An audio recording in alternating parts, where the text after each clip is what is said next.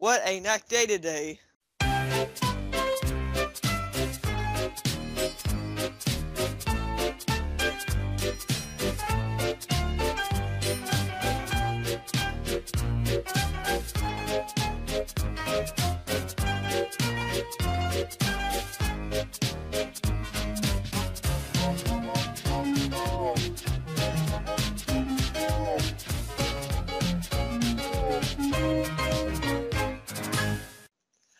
Gotta go back in time to give Dr. Decter this book. Get get. Get.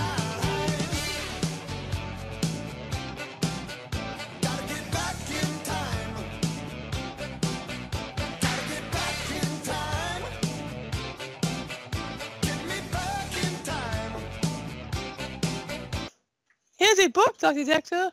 Thanks. Now I got a book to read to the children. Later, at the hospital, Hey kids, here's a book I brought to read to you. Here, how's it goes? It was a midnight John jamboree, and everybody had supercars and things on their belts that looked like taxes. And when the cat came, he was like, "Oh shit, they took my idea. I was going to be my idea to bring potato salad here, but then all of a sudden, a mean guy with super flying hands showed up and challenged Mike Tyson to a to who can go to prison faster challenge. So Mike Tyson went up and punched the officer with a pigeon. And so Mike Tyson won. And then a goat came and brought chocolate chip cookies without cookies. Also, did I mention that goat was a robot? Because that's kind of important. So whenever one drank the Kool-Aid, the only black guy called everyone racist and continued to eat watermelon and fried chicken. And then Carl came and told Steve that he was falling in love with the grass so much that he wanted to see the grass hint, hint. And so Carl married the grass and had children and then they filed, filed a mil- multi-million dollar lawsuit against everyone who touched Grass, and so Carl and Grassy and Grassy Face became millionaires, and then took their money and bought a boat. Also, T-Pain was there. It was so cool with a K. Then Steve Harvey was there t- as well. And when everyone had played Ghost in the Closet, a giant George W. Bush invaded New York City and flew a airplane into the World Trade Center again. Then when he went back to normal, he said, Jesus, please don't go back to Mars. There's no God there. And Jesus was all like, oh yeah. And flew in a Jesus mobile back to heaven where he was crowned of, he was crowned king of Jesus land and his first order of business was to build a wall to keep all the illegals from coming into his country. This was all failed until a atomic bomb was dropped on him by Donald Trump. Kaboom! And so Jesus took his army and invaded the islands until Fred, who woke up at Ghost Machine Incorporated, was all like, oh, hell no, and bombed Jesus and then Jesus and his army went back and uh, and was never seen again.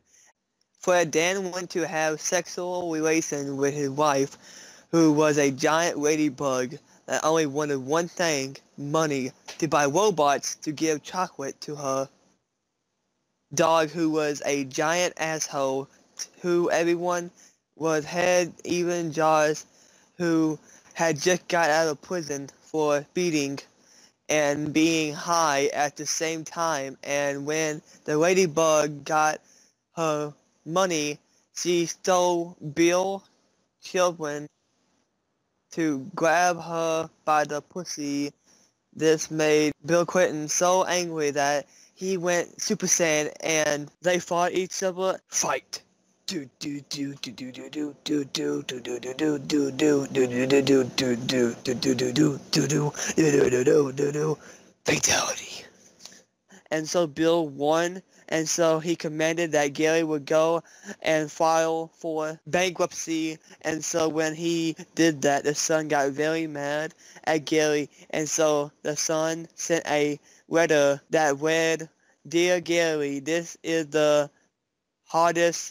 letter I have ever had to written before. I can't see you no more. And so I am leaving and living with Neptune. For now on, once Gary read this, the sun disappeared and went to King Neptune's house, and the sun caught his house on fire. So King Neptune,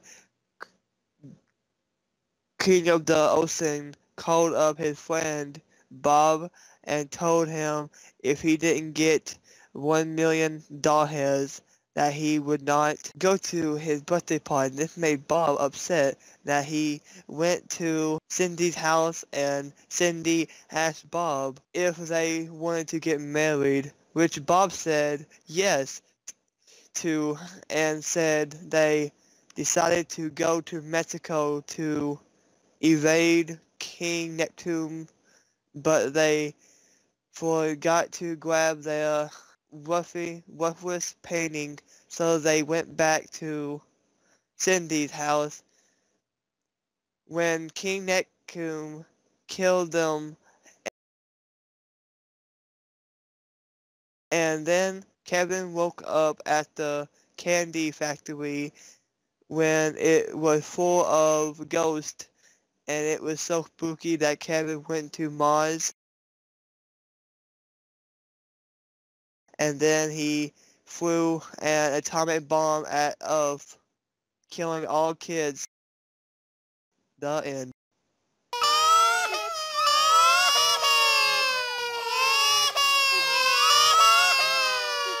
Don't cry. I know just what to do.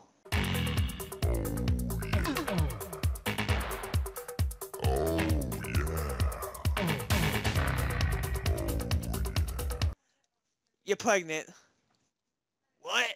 You're pregnant.